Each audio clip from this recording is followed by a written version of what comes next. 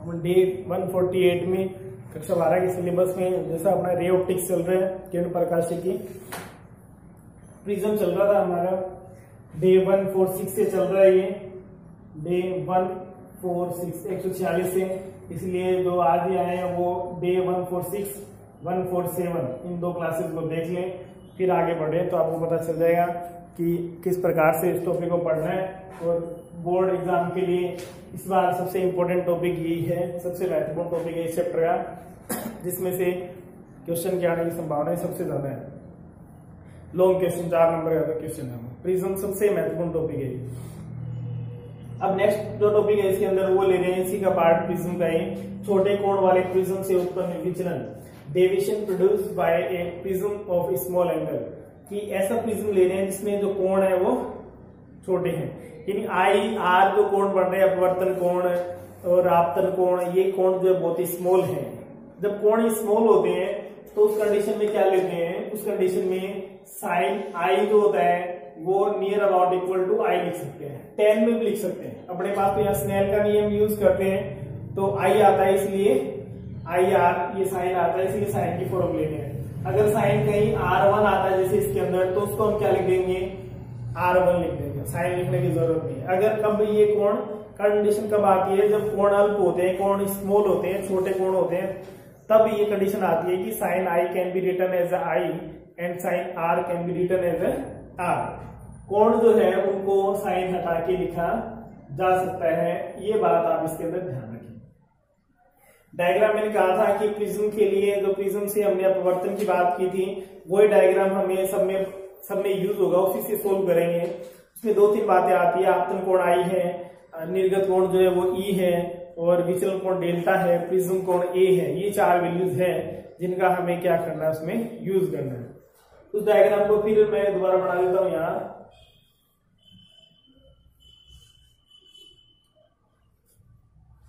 ये प्रिज्म हमने बनाया था। ये प्रिज्म एंगल है ए ये triangle A B C small लिया हमने। यहाँ पर कोई रे जो है लाइट रे आती है, प्रकाश की नापित होती है। इसके लिए इसका जो विलंब है वो ये है। इसके लिए ये आपतन कोण आई है। अब ये अविलंब से नहीं मुड़े तो ऐसे जाती है, लेकिन ये अविलंब से मुड़ जाती है और इधर आ जाती है। दूसरी सतह पर आती है, सघन से विरल माध्यम में आती है तो अविलंब से दूर हटती है। अविलंब ये है, दूर हटती है तो इधर जाती है। कोण हमेशा विलंब के साथ ही बनता है, ये जो कोण है वो ई है। इस कोण को हमने नाम दिया था। ये इस सतह से, ए बी सतह से जब अपवर्तन की घटना हो रही है तो उसके लिए ये अपवर्तन कोण है। अब ये प्रकाश के लिए आपतित होती है तो विलंब के साथ बनने वाला ये जो कोण है, वो आपतन कोण है। किस सतह के लिए? For surface A C. इसको हम नेम दे देते हैं आर टू ये आर टू है, जिसको आर टू हमने यूज़ किया था।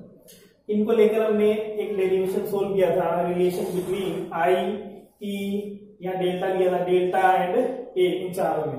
और रिलेशन क्या निकला था?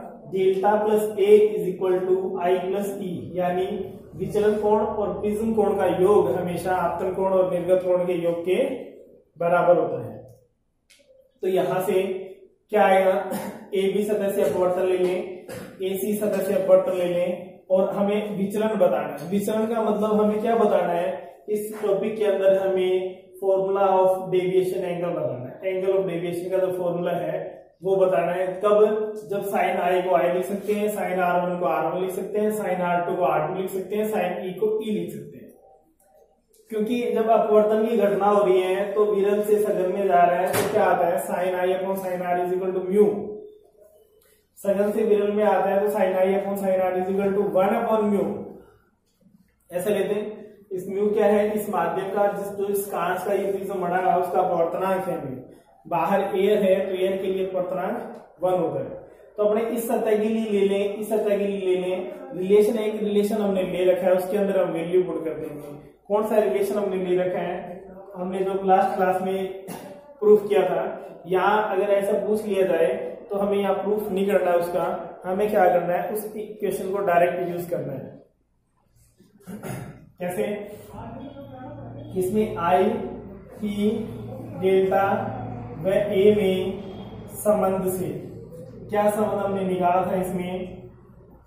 Delta plus A is equal to i plus ये रिलेशन हम पहले निकाल चुके हैं।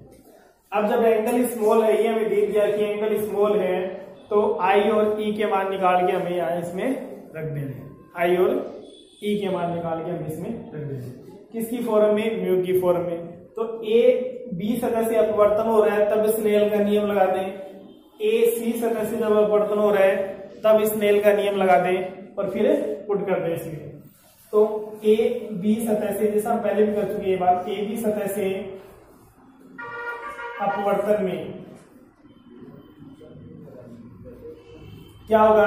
आपतन कोण क्या? Sine i upon sine r one. किस लिए ये?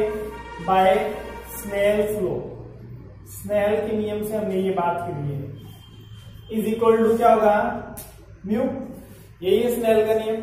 लेकिन हमें पता है कि when angles are small sine i can be written as i and also sine r one can be written as a r one sine को हटा सकते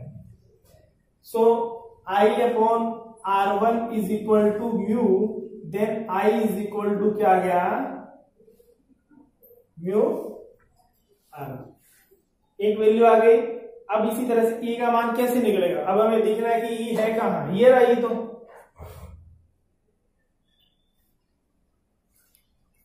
अब कौन सी सतह के लिए आ रहा है अपवर्तन में? एसी के लिए। एसी का अपवर्तन कर दे। इसमें आपतन कोण तो क्या हो जाएगा? आर टू हो जाएगा। और अपवर्तन कोण कौन सा हो जाएगा? ई हो जाएगा। यानी sine i upon sine r लेते हैं वहाँ आई की जगह तो क्या हो जाएगा? आर टू हो जाएगा। और आर की जगह क्या हो जाएगा? ई हो जाएगा।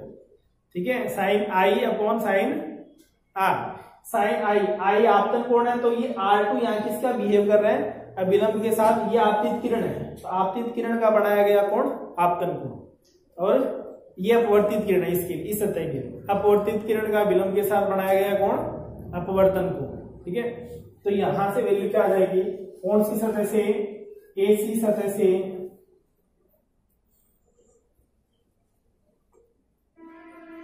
अपवर्तन के लिए।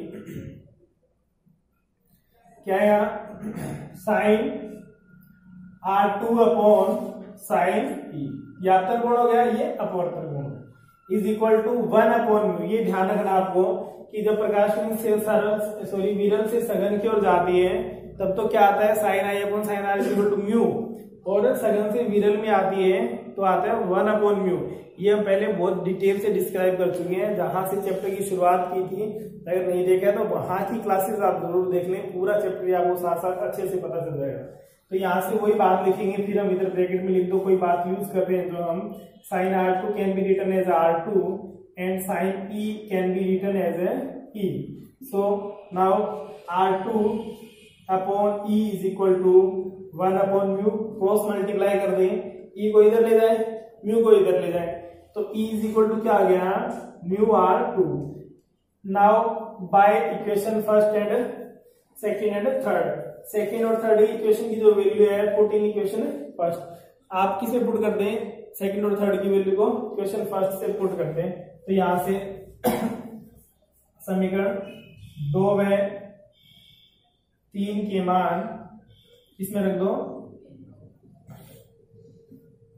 एक में रख दो। बस हो गया proof delta plus A is equal to क्या आ गया? आई की जगह रख दिया हमने म्यू आर वन। प्लस इसकी जगह रख दिया म्यू दोनों में से म्यू कॉमन आ गया। क्या आया? R one plus r two इसलिए मैंने कहा था भी वो पिछले टॉपिक में कि आप ध्यान रखें, जो कुछ वैल्यूज़ हम डेराइव कर लेते हैं, उनका डायरेक्ट यूज़ होता है तो हमें डायरेक्ट ही यूज़ करना है। उसके लिए प्रूफ करने के लिए नहीं बैठना है। अब हमें नहीं बैठना बताने के लिए, भाई ये पहले हमने ये चतुर्भुज लेंगे और फिर ये त्रिभुज लेंगे, ये वन के बराबर है, उसका रिज़ल्ट वन के बराबर है। तो फिर हम वहाँ से प्रूफ करेंगे r one plus r two equal to A होता है। जब हमने प्रूफ कर लिया तो आप उसका डायरेक्ट यूज़ किसी और टॉपिक में कर रहे हैं तो वहाँ प्रूफ करके दिखाने की ज़रूरत नहीं है वहाँ तो डायरेक्ट यूज़ कर सकते हो। So now we know that A is equal to क्या होता है? आर वन प्लस ये हमने प्रूव कर लिया कि R1 और R2 का जो योग है, वो प्रिज्म कोण के बराबर होगा तो इसकी क्या रख सकते हैं? A रख सकते हैं। So delta plus A is equal to mu into A A ये इसको भी उधर ले जाओ तो डेल्टा इज़ इक्वल टू क्या आ गया? Mu A minus A A common आ गया। तो डेल्टा इज़ इक्वल टू क्या आ गया? ए कॉमन आ गया। ब्रेक में क्या बचा? म्यू माइनस तो अगर ये कहें, छोटे कोण वाले प्रिज्म के लिए विचलन सूत्र प्राप्त कीजिए तो उसके लिए विचलन का फॉर्मूला ये है delta is equal to A into mu minus one इसका भी हम आगे एक दो बात में डायरेक्ट यूज़ करने वाले हैं। इसलिए जो जो आप डेरिवेशन करते जा रहे हैं।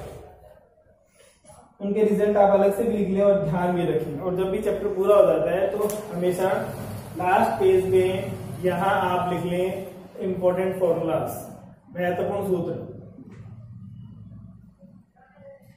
महत्वपूर्ण सूत्र। और उसमें जितने भी फॉर्मूले आ रहे हैं, किसका फॉर्मूला क्या है? ठीक है? वो लिख लें। तो जब भी आप कोई चैप्टर पढ़ रहे हैं तो उसमें सबसे पहले सारे फॉर्मूले रिवाइज कर लें, याद कर लें उनको, आधी टेंशन तो खत्म हो जाती है। यानी फिफ्टी परसेंट काम हो जाता है, अगर आपको ये पता है तो। क्यों? क्योंकि जब हम प्रूफ करने बैठते हैं तो बाई चांस गलती हो जाती है। तो अगर हमें पता है कि हमें ये प्रूफ करना है, मेरे को पता है कि मेरे को ये प्रूफ करना है delta is two mu mu A into mu minus one अगर ये नहीं आएगा, कहीं मान लो कहीं मिस्टेक हो गई, जैसे लास्ट क्लास में डायग्राम में मिस्टेक हो गई तो बाद में पता चल जाता है कि हाँ कहीं ना कहीं कुछ मिस्टेक हो गई है, स्वाभाविक हो सकती है। तो कोई परेशान होने की ज़रूरत नहीं है। हमें तुरंत पता चलेगा, भाई, यहाँ गलती हुई है, यहाँ हुई है, वहाँ करेक्शन करके वापस उसको उसको इम्प्रूव कर सकते हैं। इसलिए ये फॉर्मूला भी आपको प्रॉपर ध्यान होना ज़रूरी है। न्यूमेरिकल में बहुत काम आते हैं। इसको पढ़ लिए बाकी बात हम नेक्स्ट क्लास में करेंगे।